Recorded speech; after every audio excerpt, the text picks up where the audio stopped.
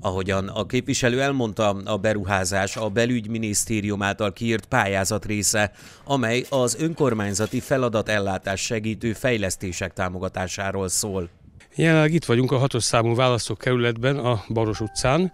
Itt mennek a járda felújítások, hiszen a belügyminisztérium pályázatot írt ki az önkormányzati feladatellátást segítő fejlesztések támogatására. Ezen a pályázaton több mint 36 millió 300 ezer forint fölötti összeget nyert önkormányzatunk. Tulajdonképpen ez egy 2018-as pályázatnak a folytatása. Itt a Baros utcát érinti, több más útvonallal egyetembe, a városban, minden körzetbe jut ebből a járdafelújításból.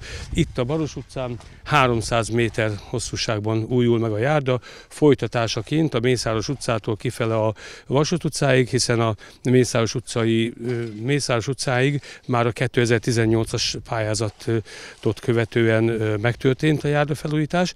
Itt erről azt kell tudni, hogy a járda, járda szegét kap és aszfalt burkolatot kap, úgyhogy jelentős mértékben az adott útszakaszoknak a járda minőségét ezzel tudjuk javítani. A munkálatok néhány héten belül befejeződnek.